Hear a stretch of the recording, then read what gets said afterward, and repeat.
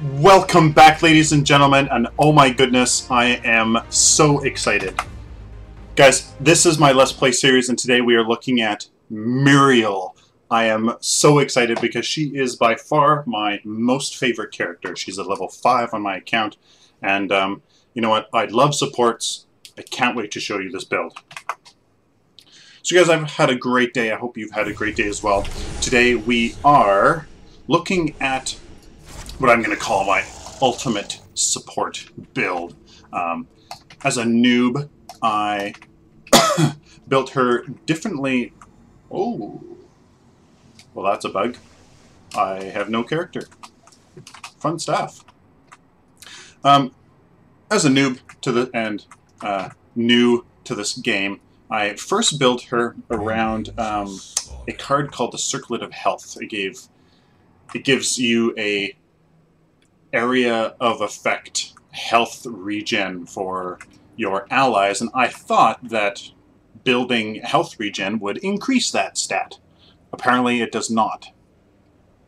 It only increased it for you, and not your teammates. So anyways, I had to scrap that and go with this. We are fo- Jeez, what is going on? Hope you guys are catching this right now because this is really weird. So in this build, we are going for cooldown reduction and then sustain. So sustain is going to be mana and health. If you guys haven't played Muriel before, she is a support character, as I'm sure you've guessed that, and her passive, Restoration. Nearby allies that have a shield receive increased health regen. When you put a shield on them, their health regen is increased significantly. Her Q is Serenity, deals energy damage, and applies a slow. It's fairly significant, so times like this, I could slow the gadget, and, uh, oh, I didn't know that, I didn't notice the sticker. I'm a noob, and let's see if I can get close enough. Good. Get those, get those kills, okay. I'm going to go for her E, Consecrated Ground. AoE that gives 120 shield to allies and 60 energy damage to enemies um, when it pops. So, I mean, it takes a second or two for it to kind of go off and deal its damage. So you kind of have to anticipate where the enemy is going to be if you're using it as a offensive ability. That's what I'm going to start off with. Her right click is called Alacrity. Gives a 180 shield and 200 point movement speed to friendly heroes. It's huge. You can... I'm going to show you how this works. So the tooltip doesn't really do a good job of it. Oh my goodness. Uh, so here, I'll... It actually... You shoot it, and it it becomes an orb. So you actually, what your right click is, is you fling out an orb that travels fairly quickly, and then if the orb hits somebody, or you, I'm going to shield this sparrow here, um, and if the orb hits, so like right there, I shot it out to this twin blast, and I hit with my right click, and he got the shield. It's a skill shot shield which is really, really interesting. And I think um, it's balanced because um, it's it's hard to hit. Um, the movement speed is huge, so it's a it's a very important skill. Like it has value. So being able to hit it is going to be really, really important. And that's my second skill that I will get with her, and then the third skill you saw me get was her Q, deals 75 energy damage and applies this. It's good. I mean, gives a bit of damage, but it's slow, so um, it's really nice for, you know, at the end of a team fight, uh, there's somebody retreating or an enemy trying to chase you down, give them the Q, and it just helps you escape a little bit better. So once we ding here, we're going to go back and get our very first cards here. So I'll show you the E, 1, Mississippi 2, Mississippi... So it's one and a half seconds.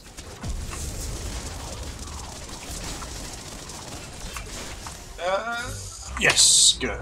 Okay, so cooldown reduction. Why? Well, we... Whoa, there's a Sevarog right here. Why do we want cooldown reduction? Because we want to use our abilities more. I thought Sevarog was going to go that way, but apparently not. And I'm going to always, so before we go back, I'm going to always focus on my support skill. So E and right click. And then your ultimate, which we will get to. It's I know I've said that a lot about characters, um, but it is definitely the probably the coolest ultimate ever. Okay, so, so, cooldown reduction. I'm going to go with the ward first because I want to be helpful to my team. I want to give them... I want to give them vision of the area so that they can stay alive and so that I can help them stay alive. If by giving them vision, it's it saves them from being ganked, I've done I've, I've done my job and I haven't had to directly heal them. So that is why I'm going to use I'm going to get the ward and upgrade it with the cooldown reduction. So I can see that there's already a ward on the map, so we do have teammates that are using it, which is good. So for example, I mean, there's this howitzer is completely dead, but if that was like right on the edge of uh, of our range, and he was about to get away, I could have used my Q, slow him down, secure the kill. Really great ability to land one Mississippi, two, yeah, one and one and a half seconds for your E. Okay, we're almost five. Our ultimate is the absolutely most coolest thing in the game. I am so excited show you. oh my goodness. Okay, so I have my ward, one ward there, one one ward here. A little bit of an overkill, but um, just to kind of prove the point. Okay. Her ultimate, Reversal of Fortune. Fly to an enemy, giving them 700 shield and knocking up enemy heroes. It is absolutely fantastic for... So, for example, boom! This person's in Isn't that awesome? Isn't that awesome? It is. It is so cool. It is probably. It, it makes me so happy every time I use it. Especially when somebody's on the brink of death and you save them by flying in and shooting all the enemies into the air. It's uh, it's absolutely just just just amazing. It's it's one of the most satisfying ultimates in the game. By far. By far. Oh, can you tell I like that one? okay, yeah. So it has a fair mana cost, but um, you'll see that later on with, with this build, uh, mana hopefully won't be that much of an issue. So I really don't want push the enemy team that much. I do want this game to go on for some amount of time. I'm going to go to left lane and gank these guys with this Twin Blast. So in this engagement, we've got Howitzer and Grim. The Twin Blast, I'm going to have to really focus on shielding my Twin Blast here. Or not. Maybe force the engagement? Sure, why not? Let's go. Um, as you can tell by the end of this video, you will notice that Muriel is pretty darn tanky and uh, can be built really... There we go. So I'm at half health, and I two ranged DPS characters beating me down. That's the power of those shields. And the tankiness of and we haven't even really built her for tankiness yet. So that is there's more to come. So like I said, focusing on E and right click, I've done um, E, now I'm going to do the alacrity. So we're going to come back and do advanced chrono. Then we are going to get our... Do we have harvesters going? Not really. So I would like to go for Pendulum of Lords, but I mean, I'm going to go... No, I'm not. No, I'm not. Um, I'm going to focus purely on on support. So here we go, guys. Sorry, interrupt. I'll go to the to my Twin Blast, and he didn't even need me. Isn't that just the coolest thing ever? Oh. Man. So there you saw that my Twin Blast was in trouble. I used my ultimate to get there. It's a great, great ultimate to get back in the fight. So you can head on back home and quickly... So here I'm, I'm looking for, for, my, for my teammates to shield them getting out of that howitzer ultimate. Really, really powerful. Her, her ultimate is a great, great tool to back, back home, to get back home, get your cards, get your mana, and then get quickly back into the fight. Uh, she's the only character in the game so far that can be as mobile as she can be. She has an absolutely massive, absolute, absolutely massive map presence that no other character can beat at, at this time. So as you can see, oh, I don't want to push. I don't want to push this. So as you can see, I put a ward in the jungle there. Always trying to think of where the enemy can come from, how I can help my team with minimal effort. Work smarter, not harder. So here my Twin Blast is kind of not um, not very safe from the side here, so I put that ward up in that tree. I'll put it in the middle of the of the um, of the path. Like spend the, the half a second to put it up in the tree, or you know some other oh, you know some other inconspicuous place.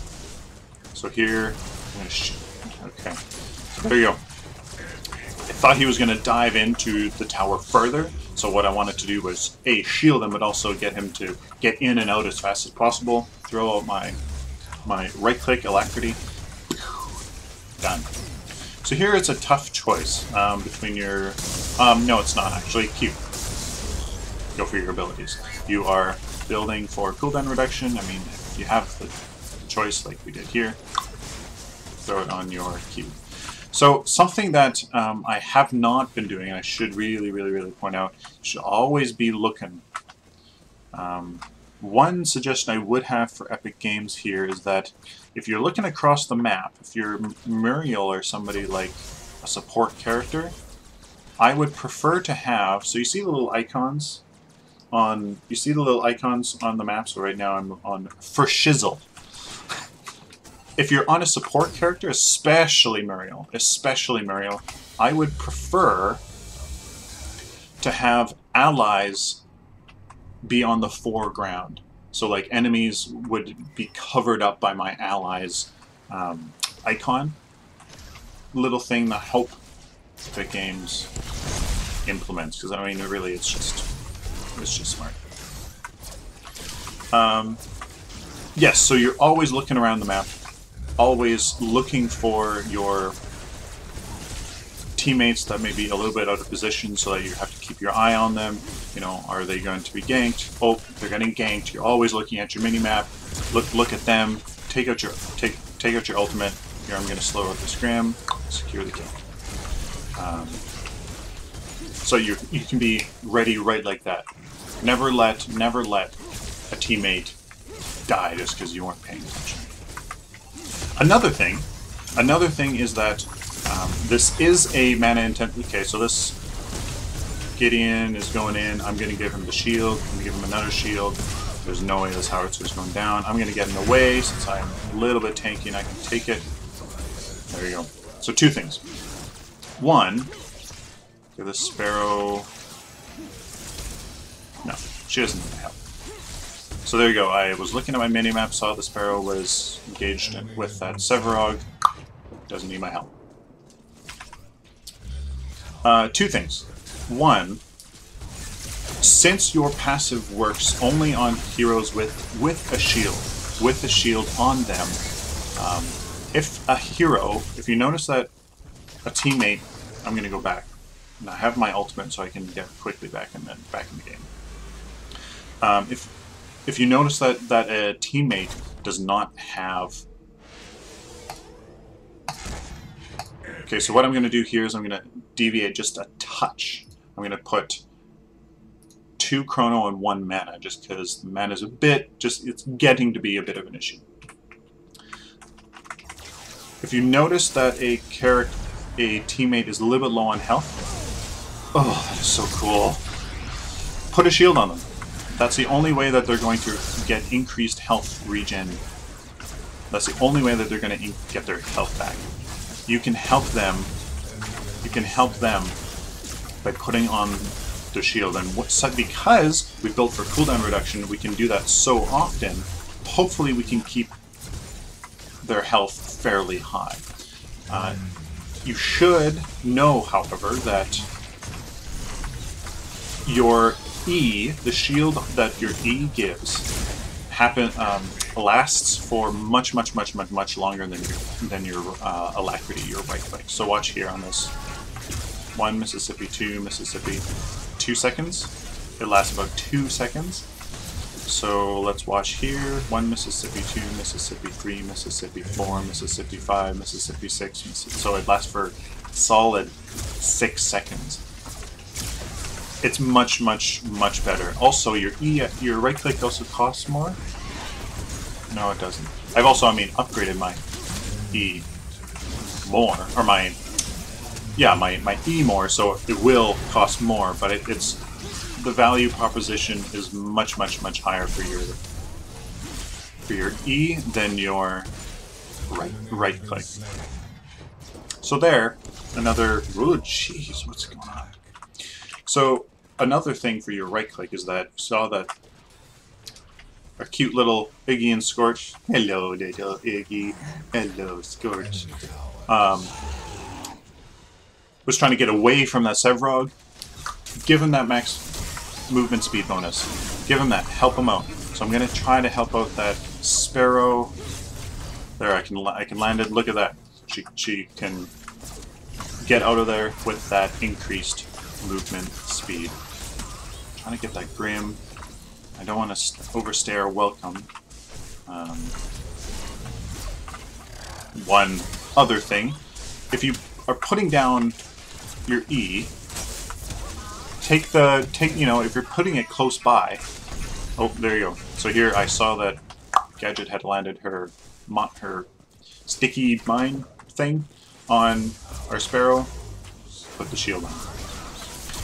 Uh, as I was saying, if you if you put your E somewhere close, take the you know, take the one second you know, if appropriate, to get that shield, get that health regen, keep you keep yourself topped up as well, health wise. Keep yourself topped up. As you can see, my health is a little bit low, so I'm going to blast it. I'm going to definitely need these mana potions now. It'd be a very smart idea to have a your health potion right from beginning, right from the, beginning of the game. In PvP, you're going to be in much more team fights than what we're currently doing here. Just because the nature of the opponents. Ooh. See, now I'm out of mana and I can't use my E. So I'm out of mana potions, I gotta go back. I gotta go back. So, the good thing is we can come right back with our ultimate. We're gonna quickly get some... quickly get a card. We're gonna go with... Enemy inhibitor is under siege. I would like I would li I would like to to go with the circlet of health, but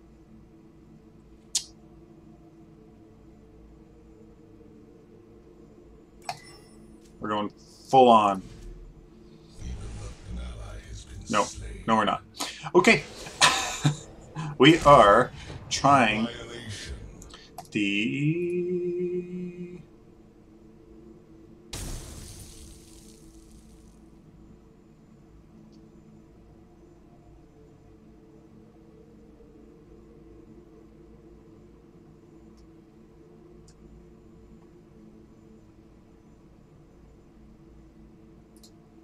Yes.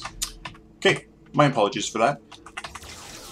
I had planned on getting, on using um, the lantern, but I had, I was kind of thinking that I could do a little bit more, um, a little bit more tankiness, um, because the second part of, of this build is sustain with mana and health. The game is almost over. I'm really not having an issue with health and with sustain.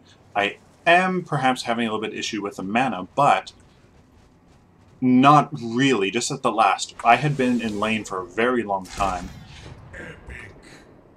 I really saw no need to build into the into the sustain. In PvP, this game would go on for another 20 minutes.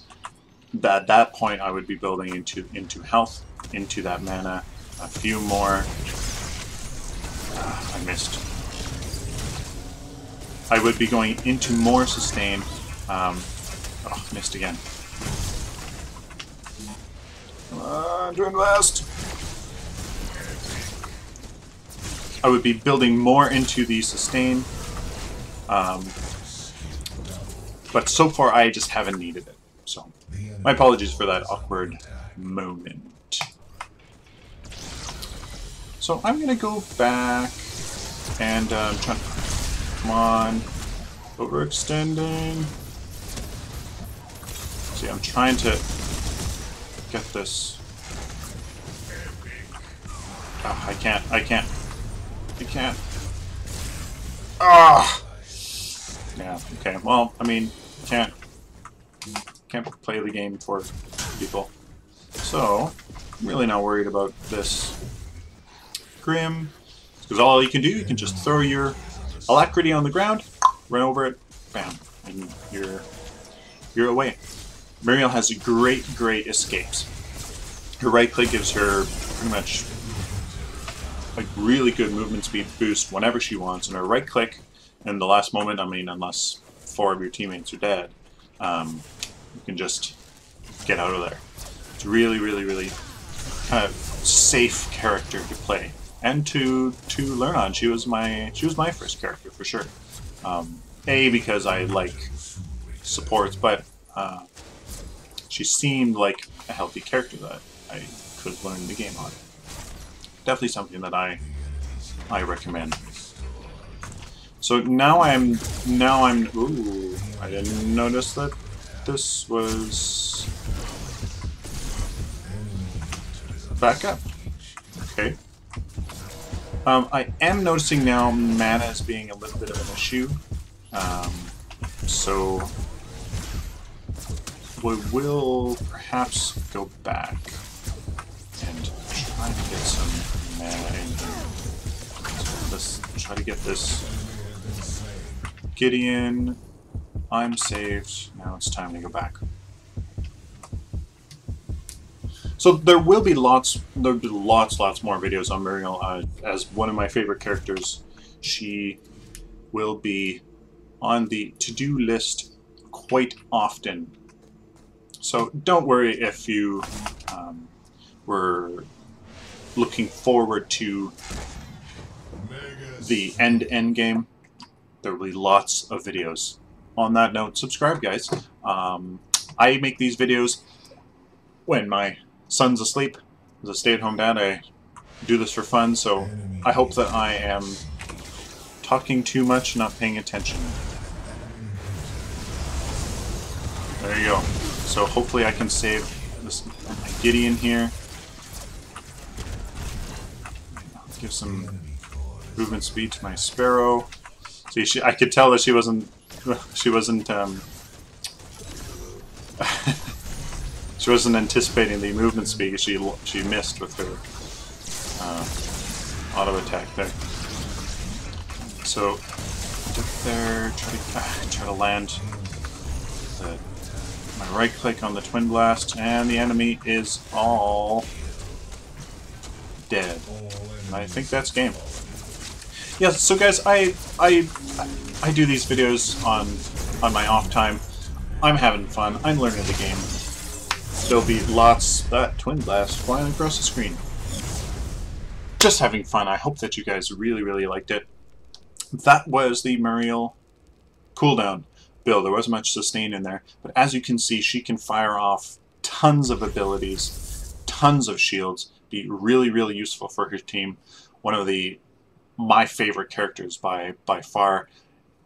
A character that you can feel like you're doing something. Like you're making a difference. And that's, I think, really, really important for satisfaction in, in a game.